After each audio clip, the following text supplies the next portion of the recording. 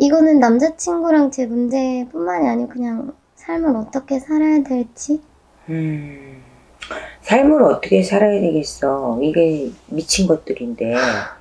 니는 언니가 지. 안 그러니? 아니, 왜 한숨을 오자마자 쉬어? 응? 자, 주소 줘요.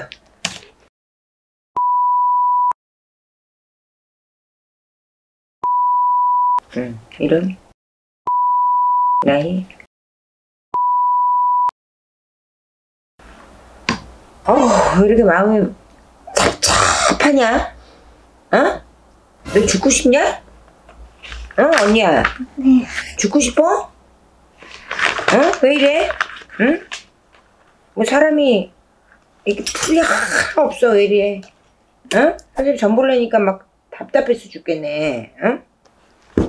야, 올해 언니가 죽을 수다, 어? 일 때문에 왔어? 어? 아니요.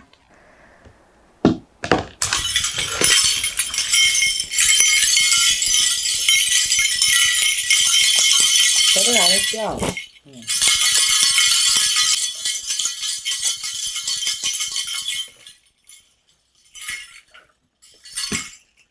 아니 왜 이렇게 마음을 못 잡아요? 어? 인간 때문에 지금 왔다 그러는데 맞아요? 어? 네, 맞아요. 왜? 본인이 지금 구설 아닌 구설에 올해는 사람들과 어, 의기 충돌에 망신도 들어와야 되고 본인이 지금 마음이 지금 뭐라 그럴까 뭐다 귀찮아? 어? 의욕상실 같아. 우울증이 있다 그러죠. 어? 마음이 너무 우울하고 어? 일도 하기 싫어요? 응? 본인이 지금 직장 다니는 뭐예요? 회사 다니고 있어요. 알고 있어? 근데 왜 이렇게 마음을 못 잡지 우리 언니? 어? 회사 옮기려고 하는 것도 아니고 어? 화가 치밀어 올라서 못 사겠네 어? 언니야? 어떻게 어떻게 말씀을 드려야 될지 모르겠는데 마음이 지금 아- 자불안성이야 왜 이렇게 응? 어떻게 어떻게 앞으로 살아야 될지 모르겠고 사실 제 남자친구가 저희 친언니랑 바람이 났어요. 친언니? 본인이 소개시켜 줬어? 네, 술 몇 번 마셨죠. 술 몇 번 마시고 당연히 제 남자친구니까 소개시켜주는 마음에 만나자고 해서 몇 번 마셨는데 바람이 났더라고요. 임신을 했더라고요, 언니가. 응제 남자친구의 아이를 가졌어요. 그러면 그거를 지금 본인네들은 어떻게 하겠대? 언니하고 지금 결혼을 하겠다라는 거야? 본인보다 언니가 더 좋다라는 거야 남자친구가? 네, 언니가 와서 말하더라고요. 응 응 임신했다고 헤어지라고? 헤어져 달라고 얘기를 한 거고 사실 그 말을 듣는 순간 저도 이거는 남자친구랑 제 문제뿐만이 아니고 그냥 삶을 어떻게 살아야 될지 음, 삶을 어떻게 살아야 되겠어. 이게 미친 것들인데. 얘는 언니가 걔 쌍년이지. 안 그러니? 그 정상적이지 못한 거야, 언니가. 어? 거기에 본인이 늪에 빠지면 안 되고, 얘네들이 잘 살겠어. 못 살아. 어? 인간응보라는 게 있고, 뿌리는 대로 거둔다는 말이 있잖아. 어? 당신을 아프게 해놓고, 이 결혼을 하겠다고 하면 이게 진짜 문제가 있는 거지. 쓰레기잖아, 쓰레기. 한마디로 쓰레기잖아. 응? 내가 만났던 남자를 어떻게 형부라고 하냐. 제 말이 응? 마음을 접어야 되는 거는 당연한 거고, 우리 언니가 지금 이 남자에 대한 그, 어떻게 보면 정이잖아. 응? 만나왔던. 근데 본인이 체념은 될 것 같아. 체념은 될 것 같은데, 한편으로 이렇게 생각을 해.